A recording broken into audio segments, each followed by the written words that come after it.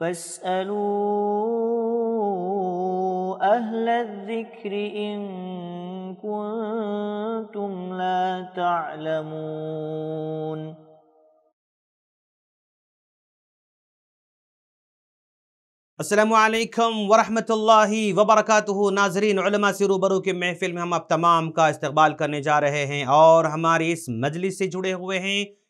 شیخ حسین مدنی حفظ اللہ، رکن فتوہ بورڈ، حیدرآباد، تلنگانہ۔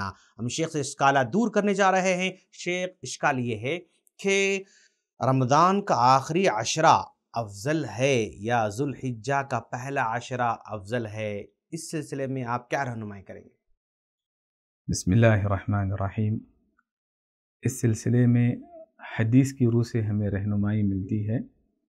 صحیح ابن حبان اور مسند البزار، البحر الزخار۔ حدیث کی ان کتابوں میں جابر رضی اللہ عنہ سے مروی صحیح درجے کی روایت ہے۔ رسول اللہ صلی اللہ علیہ وسلم نے فرمایا، افضل ایام الدنیا العشر یعنی عشر ذی الحجہ۔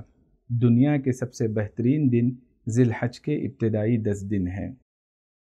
اس حدیث سے یہ بات بتائی جاتی ہے، جیسا کہ امام ابن تیمیہ رحمۃ اللہ علیہ، امام ابن قیم رحمۃ اللہ علیہ، شیخ بن باز رحمۃ اللہ علیہ اور دیگر اہل علم نے ساری روایات کو سامنے رکھتے ہوئے یہ بات بتائی کہ راتوں کے لحاظ سے اگر دیکھا جائے تو رمضان کا آخری اشرہ افضل ہے۔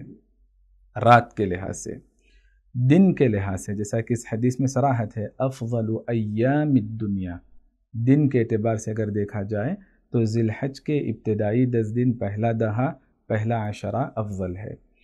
اس کی وجہ امام ابن حجر رحمۃ اللہ علیہ نے یہ بیان فرمائی کہ ان دس دنوں میں جتنی عبادتیں جمع ہو جاتی ہیں، نماز کی عبادت ہے، روزے کی عبادت ہے، صدقات و خیرات ہے، توبہ و اذکار ہے، دعائیں ہیں وغیرہ، اور حج کی عبادت ہے، ان دس دنوں میں جتنی عبادتیں جمع ہو جاتی ہیں، سال بھر میں کوئی دوسرا ایسا موقع نہیں آتا جس میں اتنی ساری عبادتیں جمع ہو جائیں۔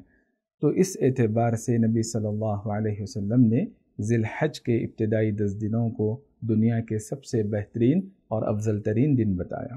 بارک اللہ فیکم۔ شیخنا ناظرین دیکھ رہے ہیں آپ، دونوں میں کون افضل ہیں؟ رات کے اعتبار سے رمضان افضل ہے اور دن کے اعتبار سے ذوالحجہ کے دس دن شروع کے وہ افضل ہیں۔ بات وعدے ہو چکی ہم دعا کرتے ہیں باری تعالیٰ سے کہ وہ ہم تمام کو ان ایام سے فائدہ اٹھانے کی توفیق عطا فرمائے۔ آمین۔ السلام علیکم ورحمۃ اللہ وبرکاتہ۔